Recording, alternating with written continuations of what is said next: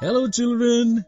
In the previous video, we saw some more interesting examples of solving word problems related to multiplication. In this video, we will see some more funny word problems related to this. Painting of Meenu's house is about to begin.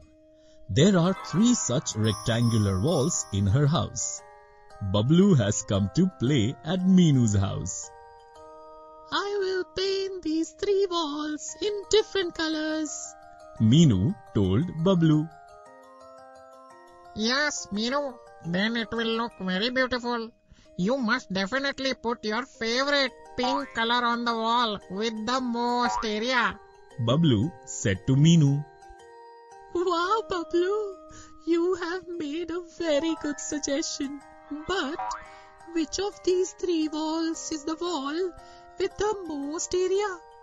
Meenu asked Bablu. Hmm, let's find it by finding the area of these three walls. Let's start with this wall first. This wall is rectangular. So, how are we going to find its area? Bablu asked Meenu. To find the area of any rectangle, we multiply its length by breadth. The length of this wall is 15 meters and breadth is 7 meters. Meenu, you are an expert in multiplication. Quickly tell me how much is the area of this wall? Bablu asked Meenu. 15 times 7 will be 105. The area of this wall is 105 square meters. Meenu quickly multiplied and said to Bablu. Absolutely right.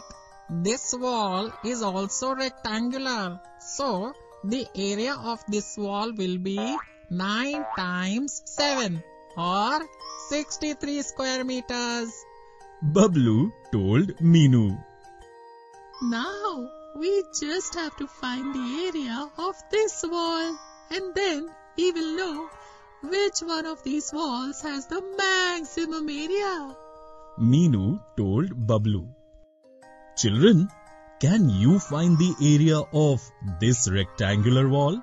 If you want, you can stop the video and find the answer. The area of this wall is 21 times 7 or 147 square meters. Your answer is absolutely correct. Meenu wrote the area of the three walls on a paper.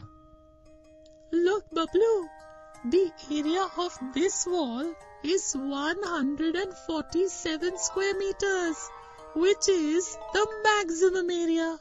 So, I will put my favorite pink color on this wall. Meenu excitedly told Bablu.